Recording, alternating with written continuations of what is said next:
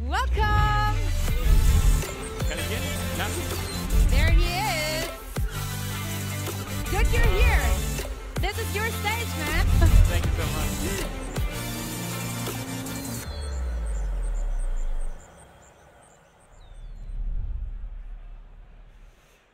So I brought two stories today, um, but first of all, several people have told me that's the best conference in B2B tech in Germany.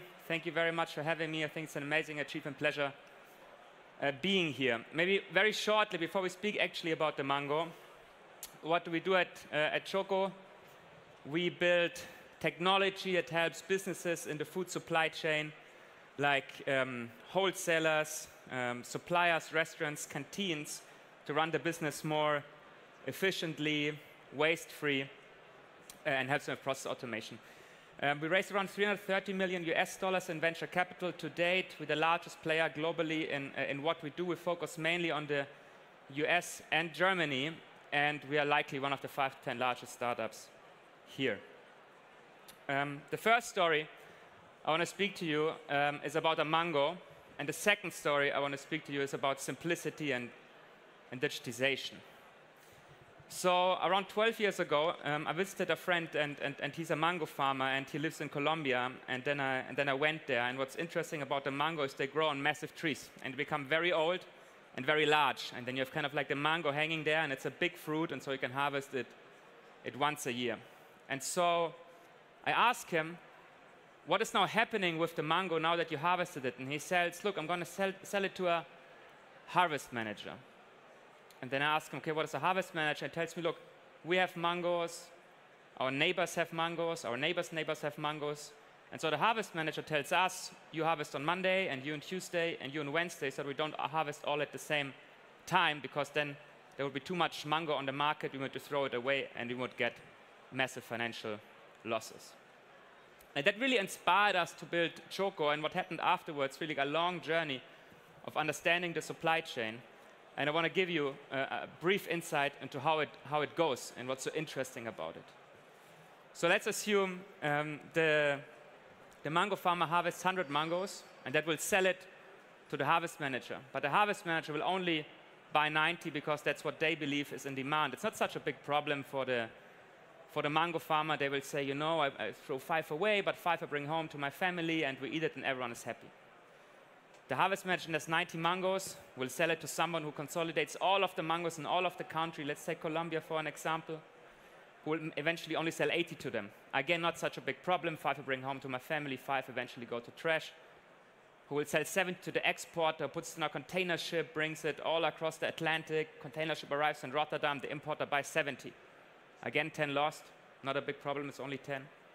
Who will then sell six to the wholesaler, who will eventually sell 50 mangoes to the supermarket where you might buy them today, to the restaurant where you might eat them today. And so, as such, we, uh, we lose over 40% of all of the products along this chain, but at no individual step we use many. At all of the steps we just use, uh, we just lose little. And mango obviously is just a tiny example of all of the foods that we're eating. So um, behind me, see like a, you know, just a, a very typical, stereotypical Berlin dish, and you will find the rice, which eventually took a similar complicated round, but it came from Indonesia. And you will find shrimp from China, and you will eventually find uh, some garlic inside from, from, from Morocco. And so all of these foods took actually very long and very complex routes, and we lost a lot and wasted a lot uh, on that. Now, why am I telling you this story? It's because actually it's a, it's a massive it's a massive opportunity. So when we just look at the, at the food supply chain as a market, how big is it? The market is worth around 7 trillion. So in, in German, it's like billion. It's around 7 trillion uh, euros. That's nearly three times the size of the whole automotive industry. So it's humongous as a, as a market. If we just take the waste, so I tried to look the mango a bit ugly on top, so that's around 40% of the mango. If we just take the waste in the whole food supply chain of all of the products, just that market is worth more so waste is worth more, food waste is worth more than the whole automotive industry as a sector. It's, it's humongous. It's a, um, it's a massive market and it's a massive opportunity. And what, you know, with, with massive scale obviously comes massive responsibility too. So if we look at it from another angle, so that was kind of the economic angle, let's look at it from an environmental angle. Then what's interesting is that the food supply chain, yeah, so the, the whole system that brings all of the foods from origin countries to like 8 billion consumers around the world is responsible for nearly one quarter of all greenhouse gases, all, all carbon dioxide, all, all CO2. Um, cars are responsible for 2%. Just waste, just food waste emits as much as five times as all cars combined on the planet. So it's actually massive. And now you can, you can do a little bit of a sense check and think how much are we thinking about electrification of cars and how much are we thinking of food waste and what has the higher leverage if we actually want to have one. And so it's a massive opportunity and a massive responsibility. And so where the problem in the simplest terms essentially stems from is that we have a long chain, a long supply chain of many players. It starts with the farmers, the harvest managers, exporters, importers, wholesalers, suppliers, distributors, down to maybe the restaurant where we eat the mango uh, today. And they're not connected. So the farmer doesn't really know how much is, is needed in the first place. And so the question is how to solve this problem. It's a network problem. It's a long chain, it's a long network of different businesses. And obviously, the best technology to solve a network problem is a network technology, aka the internet. And so, in many ways, um, the goal, if we want to remove this problem, is that we need to connect this industry, make it data driven, and provide tools that we don't produce too much food in the first place. And, um, and what this means is that we will need to digitize. Yeah, the, the, the largest word in the industry of the last five years, maybe, maybe next, uh, next to labor shortage, is digitization. And so we will need to digitize all of those small businesses so that we can actually connect them along one chain and tell them when to produce, when not to produce. And the problem is, in our industry, it's one of the least digital of all. So below me, I think that graphic is like from, from Boston Consulting Group or McKinsey or from some fancy consultancy. And, and they make this index. And you can see some of the two least digital industries of all is food and beverage, and in periphery, it's agriculture. In fact, only mining is less digital, and mining is the act of getting stones out of, uh, out of the ground. And so, in many ways, what we have to achieve as Choco is to digitize an old industry, which might be the case not only for us, but actually for many different sectors and many different industries. And so I just want to tell you now the second story, which is a bit what we found a playbook, a winning playbook for us is in our industry, but that I also believe is applicable to many others. So essentially, when you want to remove food waste and when you want to digitize the system, the first thing you need to know is like how much food do we need in the first place? Yeah, how much is getting consumed? Where, where, where do we need it? And behind us uh, is a picture of a, uh, of a kitchen. That kitchen is a very nice restaurant in Paris. And, um, and they, use, they use our technology. But it's very hard to get them to use technology because you can be the best restaurant on the planet, you can run the best kitchen on the planet without ever using any phone or any computer. You can literally be world famous. And so, so the obstacle to overcome, to digitalize them, is to provide a tool that they actually like to use. And this, the name of my second story is, is simplicity. So this is our tool, and my story is not, not um, about our tool in detail, but rather about the principle behind it. The picture on your, um, on your left is kind of like what a restaurant will see before they want to purchase. So a restaurant needs meat, wine, fish, cheese, all the different things that a restaurant may, or, or even a supermarket may purchase. But it looks very much like WhatsApp. Why does it look like WhatsApp? So WhatsApp with a very large difference, by far the largest messaging, the largest communicator on the planet. Why has it become so big? It's because it's super simple. It's super, they have billions of users. And they could have built many things into the app, but they did not. They could have built games into WhatsApp. They did not. They could have built you know, shopping into WhatsApp, and they did not. They could have built advertising. They, did, they didn't do it. They could have built dating. They could have built many things to the app, but they kept it simple. And this is why it's widely adopted. And so I think for digitization, what is very important is to take these principles of simplicity.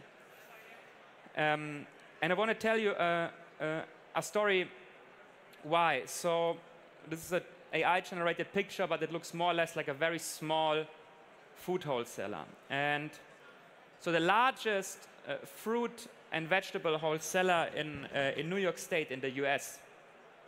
They're massive, several hundred million in revenue, several hundred employees, and they have around, uh, they have 17 warehouses. And in 14 of these warehouses, they use Choco, and in three not. And so I visited them and asked them, why not? And he said me, yeah, you know, Daniel, we're introducing a new ERP system, and we brought it, and we need it before we, we installed Choco, and we brought to our 14 warehouses. But the manager for the other three warehouses is going to retire in three years, and he says, I don't want to learn a new ERP system, it's too complex, so much change, do it after I retire. And now we could say, oh, wait, that's so stubborn and backward thinking and old school, but the reality is, is like, I believe he's, he's kind of right.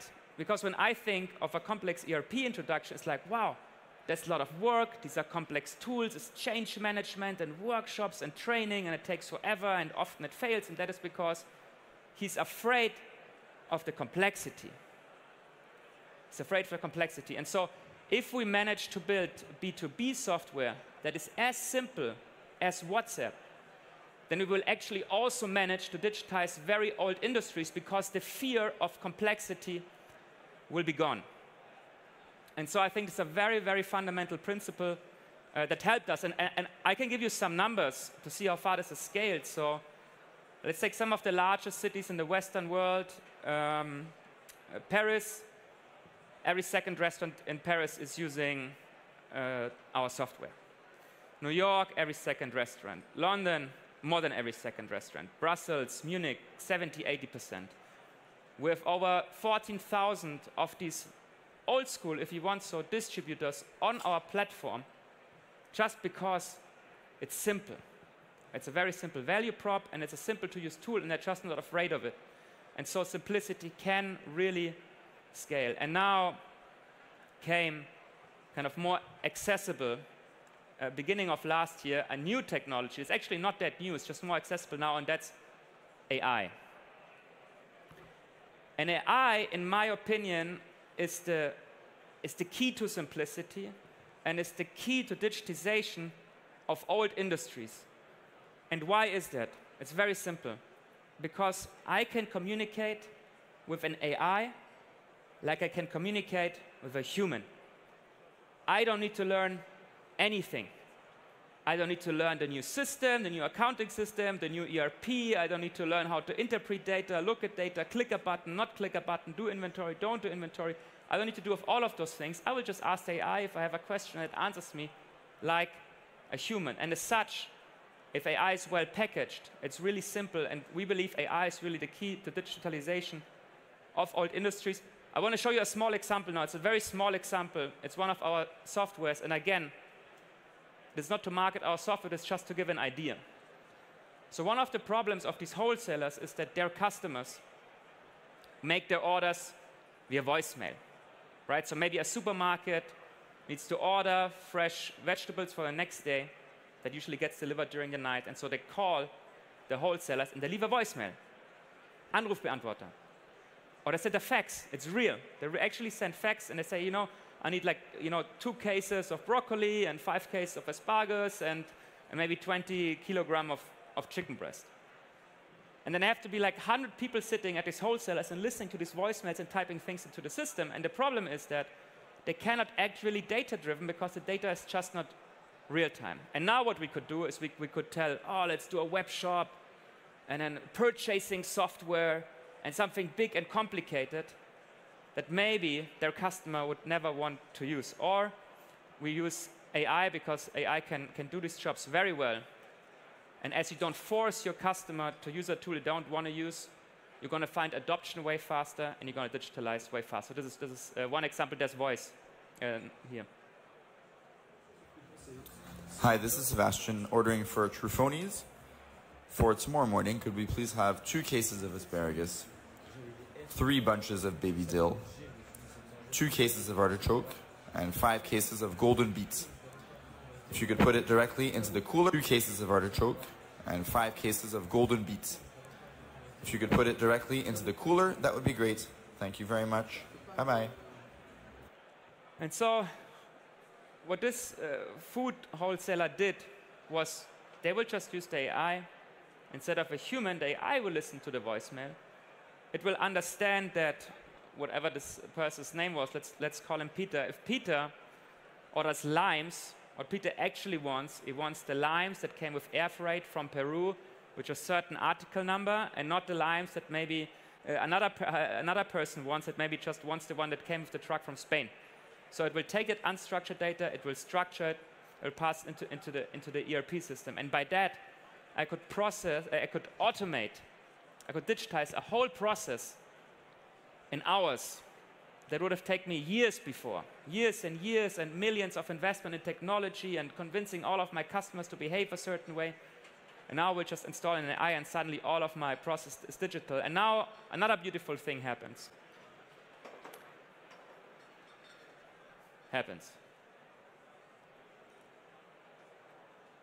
Oh, I think that's an old presentation, unfortunately. So I will just tell you what happens. So now suddenly I have access to real-time data. And when I have access to all the data, not only from the data of my customers that anyways, you know, use a, use a software, use a purchasing tool to interact with me, but also from the ones that are still old school. I can use this data, I can, I can create an algorithm on top of it, and I can actually predict what they might demand tomorrow, next week, and next year. And by that, I can have less inventory and I can have less, less waste in our example. And, and so I think in that sense, AI is also a beautiful example of how, for very old school industry, you can digitize it very fast, but it just being very simple uh, to use, but not requiring the very person to change the behavior at all.